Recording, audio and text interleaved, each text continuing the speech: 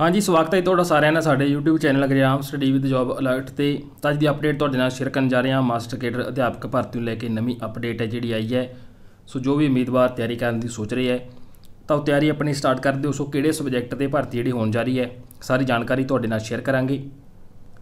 ਤਾਂ ਹੁਣ ਪੰਜਾਬ ਸਰਕਾਰ ਵੱਲੋਂ ਜਲਦੀ ਸੂਬੇ 'ਚ ਸਕੂਲਾਂ ਦੇ ਵਿੱਚ ਖਾਲੀ ਪਏ ਸਾਇੰਸ ਅਧਿਆਪਕਾਂ ਦੇ ਅਹੁਦੇ ਤੇ ਭਰਤੀ ਭਰਨ ਦੀ ਪ੍ਰਕਿਰਿਆ ਸ਼ੁਰੂ ਕਰਨ ਜਾ ਰਹੀ ਹੈ। ਇਸੇ ਲੜੀ ਤਹਿਤ ਸਕੂਲ ਸਿੱਖਿਆ ਵਿਭਾਗ ਪੰਜਾਬ ਵੱਲੋਂ ਸਾਰੇ ਜ਼ਿਲ੍ਹਾ ਸਿੱਖਿਆ ਅਧਿਕਾਰੀਆਂ ਸੈਕੰਡਰੀ ਸਿੱਖਿਆ ਨੂੰ ਇੱਕ ਪੱਤਰ ਜਾਰੀ ਕਰਦੇ ਹੋਏ ਮਾਸਟਰ ਕੇਡਰ ਦੇ ਸਾਇੰਸ ਵਿਸ਼ੇ ਦੇ ਅਹੁਦਿਆਂ ਦੇ ਸੰਬੰਧ ਵਿੱਚ ਸੂਚਨਾ ਜਿਹੜੀ ਉਹ ਮੰਗਲਵਾਰ ਤੱਕ ਮੰਗੀ ਗਈ ਹੈ। ਇਸ ਪੱਤਰ ਵਿੱਚ ਸਾਰੇ ਜ਼ਿਲ੍ਹਾ ਸਿੱਖਿਆ ਅਧਿਕਾਰੀ ਨੂੰ ਨਿਰਦੇਸ਼ ਜਿਹੜੇ ਦਿੱਤੇ ਗਏ ਹੈ ਕਿ ਉਹ ਆਪਣੇ ਤਹਿਤ ਆਉਂਦੇ ਸਕੂਲਾਂ ਦੇ ਵਿੱਚ ਸਾਇੰਸ ਵਿਸ਼ੇ ਦੀ ਮਨਜ਼ੂਰਸ਼ੁਦਾ, ਭਰੀਆਂ ਅਤੇ ਖਾਲੀ ਸਾਮੀਆਂ ਸੰਬੰਧੀ ਸੂਚਨਾ ਵਿਭਾਗ ਵੱਲੋਂ ਜਾਰੀ ਇੱਕ ਪਰਫਾਰਮੇ ਵਿੱਚ ਭਰ ਕੇ ਭੇਜਣ। ਇਹੀ ਨਹੀਂ, ਸਕੂਲ ਮੁਖੀਆਂ ਨੂੰ ਨਿਰਦੇਸ਼ ਦਿੱਤੇ ਗਏ ਹੈ ਕਿ ਉਹਨਾਂ ਦੇ ਸਕੂਲ ਦੇ ਈ ਪੰਜਾਬ ਡਾਟਾ ਵਿੱਚ ਦਰਜ ਮਨਜ਼ੂਰਸ਼ੁਦਾ ਅਸਾਮੀਆਂ ਦੀ ਤਾਜ਼ਾ ਸਥਿਤੀ ਨਿੱਜੀ ਤੌਰ ਤੇ ਚੈੱਕ ਕਰਨ ਉਪਰੰਤ ਹੀ ਸੂਚਨਾ ਭੇਜੀ ਜਾਵੇ। ਵਿਭਾਗ ਦੇ ਮੁਤਾਬਕ ਸਕੂਲ ਮੁਖੀਆਂ ਵੱਲੋਂ ਭੇਜੀ ਗਈ ਸੂਚਨਾ ਜ਼ਿਲ੍ਹਾ ਪੱਧਰ ਤੇ ਕੰਪਾਈਲ ਕਰਨ ਤੋਂ ਬਾਅਦ ਹੀ ਮੁੱਖ ਦਫ਼ਤਰ ਨੂੰ ਭੇਜੀ ਜਾਵੇ।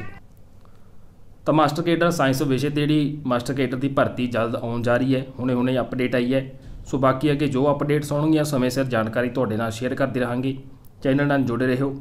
ਧੰਨਵਾਦ। ਜੀ